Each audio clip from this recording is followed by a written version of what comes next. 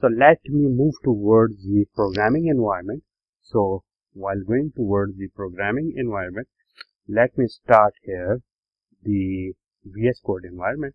So here in VS Code environment the first thing here will be as I have started here the first thing there was basically the count and initially the count is assigned the value 0 and similarly but the basket here is also empty.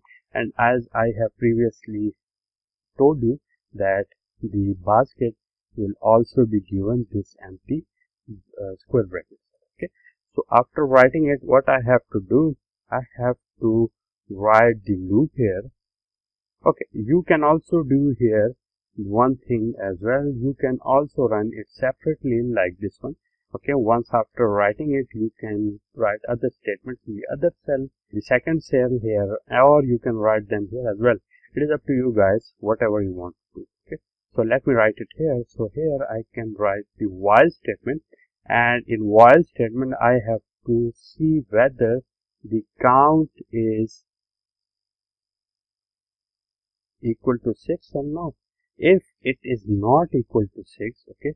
Again a colon here.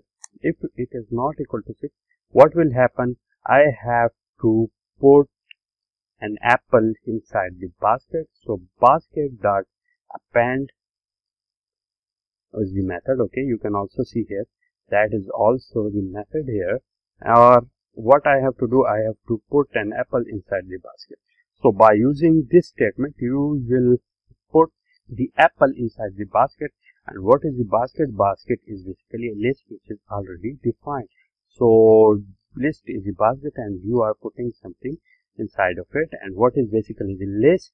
Uh, list is basically the uh, combination of different or same number of items. So after what would you do? You will do count equal to count plus 1 okay? So that is the statement here. Okay. Similarly, uh, you can also use this statement as, as well, but uh, despite using this one, you can also use another statement. Okay, and what is that statement?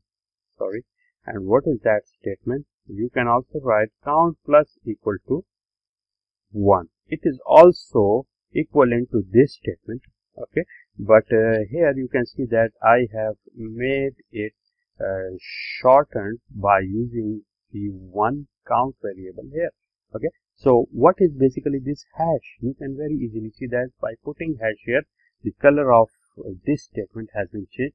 So this hash comment sign here and you can comment out any statement here just by putting the hash here. Okay? So when hash is put it here it will be commented. Okay? So uh, that is the uh, comment statement. Similarly, after uh, writing it, what I have to do, it will do it unless and until the count is equal to 6. So when it will be ended, what what should I have to do? I have to print the uh, value of count. Okay, that is a very easy statement here. So let me run it.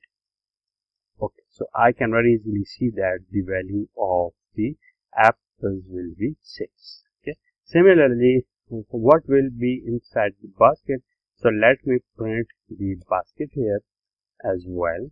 So printing the basket here, I can very easily see that it will be composed of 1, 2, 3, 4, 5, 6, 6 number of apples. So these are the number of apples here. Okay. So uh, that is the statement, but just writing 6 is not sufficient here uh, in writing the programs and writing the statements, full statements here, it requires some uh, very fancy terms here, just like I should have to write that.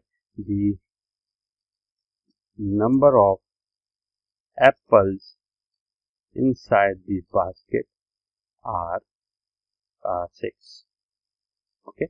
Uh, so uh, whatever happens it will give me 6 this is uh, one method here. Similarly i can write here plus as well so because this is the uh, combination of characters here and that is the string and by adding it means i have to add another same data type with it. So i can write here the count but count is something which is the integer. So when I will add it uh, with this uh, string it will give me the error just like you can see here. Okay. So uh, it is saying that in this uh, line number 4 you have a count and this should be string not int. So what I have to do I have to convert this int inside into the string. So writing str just str will serve this process.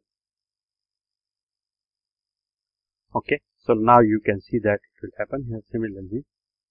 So it can also be written like this one. Another very important uh, method here uh, which I can use very easily here that just writing f at the start of any uh, statement here and just uh, wherever you want to write the integer here you just have to put these curly braces here and uh, write integer there and then running it will give you the combination of all these.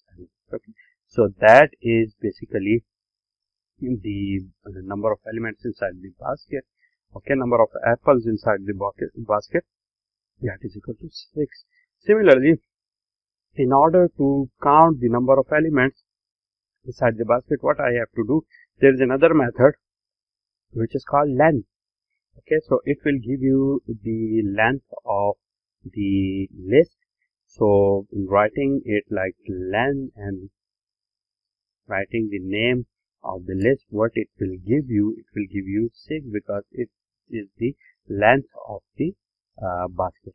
Okay so length of the basket or length of legs uh, here is 6 similarly in order to show the type of any uh, data type which I have been using here so writing type basket what it will give me it will give me that list. Similarly what is count here